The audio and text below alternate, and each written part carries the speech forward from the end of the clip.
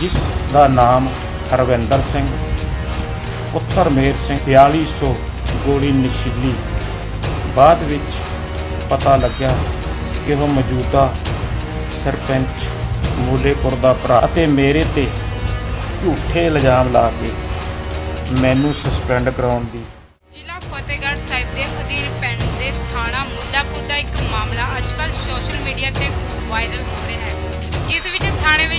ਵਿੱਚ ਹੋਣ ਦਾ ਦਾਅਵਾ ਕਰਨ ਵਾਲਾ ਯਸ਼ਪਾਲ ਸਿੰਘ ਪਿੰਡ ਦੇ ਮੌਜੂਦਾ ਸਰਪੰਚ ਤੇ ਆਰੋਪ ਲਗਾ ਰਿਹਾ ਹੈ। ਯਸ਼ਪਾਲ ਸਿੰਘ ਦਾ ਕਹਿਣਾ ਹੈ ਕਿ 19/19 ਨੂੰ ਉਸਨੇ ਇੱਕ ਸੂਚਨਾ ਦੇ ਆਧਾਰ ਤੇ ਇੱਕ ਵਿਅਕਤੀ ਨੂੰ ਨਸ਼ੀਲੀ ਗੋਲੀਆਂ ਸਮੇਤ ਕਾਬੂ ਕੀਤਾ ਸੀ, ਜੋ ਕਿ ਮੌਜੂਦਾ ਕਾਂਗਰਸੀ ਸਰਪੰਚ ਦਾ ਰਿਸ਼ਤੇਦਾਰ ਸੀ, ਜਿਸ ਨੂੰ ਛੱਡਣ ਤੇ ਮਾਮਲਾ ਰਫਾ ਦਫਾ ਕਰਨ ਤੇ ਸਰਪੰਚ ਦੁਆਰਾ ਉਸ ਨੂੰ ਮਾਨਸਿਕ ਤੌਰ ਤੇ ਪਰੇਸ਼ਾਨ ਕੀਤਾ ਜਾ ਰਿਹਾ ਹੈ।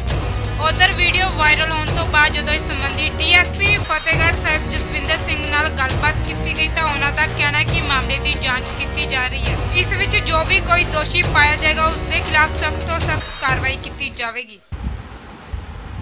ਮੈਂ ਅੱਜ ਆਪਣੀ ਇਸ ਪੋਸਟ ਦੇ ਜ਼ਰੀਏ ਪੰਜਾਬ ਦੇ ਵਾਸੀਆਂ ਨੂੰ, ਜੋ ਨਸ਼ੇ ਦੇ ਖਿਲਾਫ ਹਨ, ਇੱਕ ਅਪੀਲ ਕਰਨੀ ਚਾਹੁੰਦਾ ਹਾਂ ਕਿ ਮੈਂ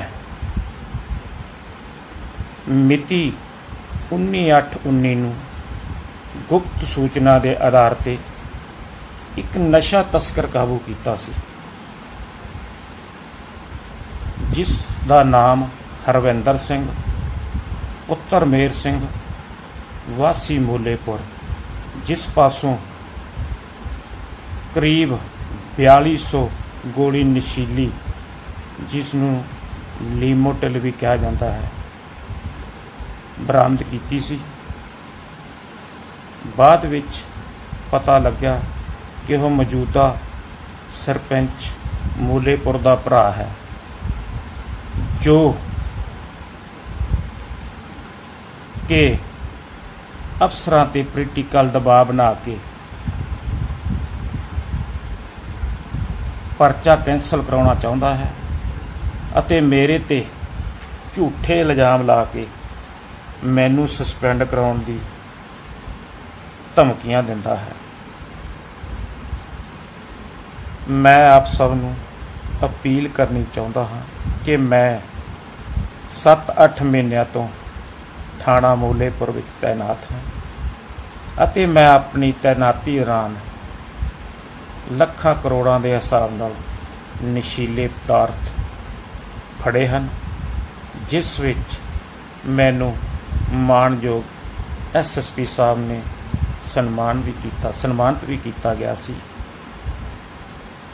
ਸੋ ਮੈਂ ਆਪ ਸਭ ਨੂੰ ਅਪੀਲ ਕਰਦਾ ਹਾਂ ਕਿ ਮੇਰੀ ਇਸ ਪੋਸਟ ਨੂੰ ਵੱਧ ਤੋਂ ਵੱਧ ਸ਼ੇਅਰ ਕਰਕੇ ਮਾਨਯੋਗ ਸੀਐਮ ਸਭ ਤੱਕ ਪਹੁੰਚਾਈ ਜਾਵੇ, ਤਾਂ ਜੋ ਇਹੋ ਜਿਹੇ ਮਾੜੇ ਸਰਪੰਚ ਜੋ ਨਸ਼ਾ ਤਸਕਰੀ ਕਰਦੇ ਹਨ ਮੇਰੇ ਜਾਂ ਮੇਰੇ ਕਿਸੇ ਹੋਰ ਮੁਲਾਜ਼ਮ ਦਾ ਨੁਕਸਾਨ ਨਾ ਕਰ ਸਕਣ। ਆਪ ਸਭ ਨੂੰ ਹੱਥ ਬੰਨ ਕੇ ਬੇਨਤੀ ਹੈ ਕਿ ਇਸ ਨੂੰ ਵੱਧ ਤੋਂ ਵੱਧ ਸ਼ੇਅਰ ਕੀਤਾ ਜਾਵੇ। ਤਾਂ ਜੋ ਇਸ ਨਸ਼ੇ ਖਿਲਾਫ ਵਿੱਢੀ ਮਹਿਮਾਨ ਡਰ ਜਾਰੀ ਰੱਖਿਆ ਜਾਵੇ। ਵਾਹਿਗੁਰੂ ਜੀ ਕਾ ਖਾਲਸਾ, ਵਾਹਿਗੁਰੂ ਜੀ ਕੀ ਫਤਿਹ। ਰੀਸੈਂਟਲੀ ਹੁਣੇ ਸਾਡੇ ਧਿਆਨ ਦੇ ਵਿੱਚ ਆਇਆ। ਸੀਨੀਅਰ ਸਾਡੇ ਅਫੀਸਰ ਸਾਹਿਬਾਨ ਜਿਹੜਾ ਹੈ ਇਸ ਦੇ ਬਾਰੇ ਜਿਹੜਾ ਹੈ ਡਿਟੇਲ ਦੇ ਵਿੱਚ ਵੈਰੀਫਾਈ ਕਰ ਰਹੇ ਨੇ। ਤੇ ਥੋਰੋਲੀ ਇਹਨੂੰ ਚੈੱਕ ਕੀਤਾ ਜਾਊਗਾ। ਜੋ ਵੀ ਹੋਊਗਾ ਉਹਦੇ ਮੁਤਾਬਕ ਕਾਰਵਾਈ ਕੀਤੀ ਜਾਊਗੀ। ਭਾਵੇਂ ਕੋਈ ਵੀ ਹੋਵੇ। ਸਰ ਪਹਿਲਾਂ ਵੀ ਨਸ਼ਾ ਤਸਕਰਾਂ ਦੇ ਖਿਲਾਫ ਮਤਲਬ ਕਿ ਕਈ ਵਾਰ ਇਹੋ ਜਿਹੀਆਂ ਗੱਲਾਂ ਸਾਹਮਣੇ ਆਈਆਂ ਫੇਸਬੁੱਕ ਤੇ ਹੋਰ ਜ਼ਿਲ੍ਹਿਆਂ 'ਚ ਵੀ। ਤੇ ਕੀ ਤੁਸੀਂ ਕੀ ਇਹਦੇ ਬਾਰੇ ਕੀ ਕਹਿਣਾ ਚਾਹੋਗੇ? ਦੇਖੋ ਇਹ ਤਾਂ ਮਤਲਬ ਕਿ ਇਸ ਤਰ੍ਹਾਂ ਦੇ ਆਉਂਦੇ ਰਹਿੰਦੇ ਨੇ ਲੇਕਿਨ ਜਦੋਂ ਵੈਰੀਫਿਕੇਸ਼ਨ ਦੇ ਵਿੱਚ ਗੱਲ ਕੁਝ ਹੋਰ ਹੁੰਦੀ ਹੈ ਜਦੋਂ ਹਾਇਰ ਲੈਵਲ ਦੇ ਉੱਤੇ ਗੱਲ ਵੈਰੀਫਾਈ ਹੁੰਦੀ ਹੈ ਤੇ ਇਹਦਾ ਰਿਜ਼ਲਟ ਕੁਝ ਹੋਰ ਨਿਕਲਦਾ ਹੁੰਦਾ। ਸੋ ਬਿਨਾਂ ਵੈਰੀਫਾਈ ਕੀਤੇ ਅਸੀਂ ਕੁਝ ਵੀ ਨਹੀਂ ਇਹਦੇ ਵਿੱਚ ਕਹਿ ਸਕਦੇ। ਜਦੋਂ ਸਾਡੇ ਐਸਐਸਪੀ ਸਾਹਿਬ ਵੈਰੀਫਾਈ ਕਰ ਲੈਣਗੇ ਉਸ ਤੋਂ ਬਾਅਦ ਹੀ ਅਸੀਂ ਇਹਦੇ ਬਾਰੇ ਕਮੈਂਟਸ ਕਰ ਸਕਦੇ ਹਾਂ। ਸਰ ਪਾਵਰ 'ਚ ਸਰਪੰਚ ਆ ਉਹ ਕਾਂਗਰਸੀ ਹੈ।